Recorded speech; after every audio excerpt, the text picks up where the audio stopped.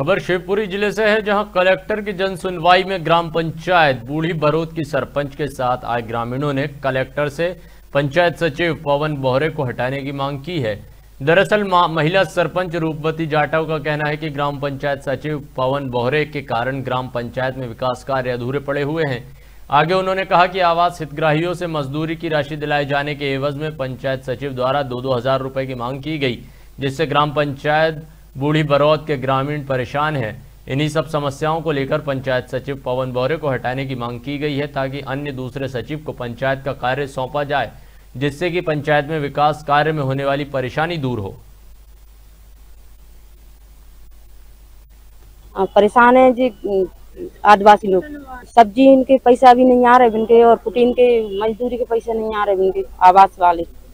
पैसा मांग रहा दो हज़ार रुपये। दूसरे सेक्रेटरी आन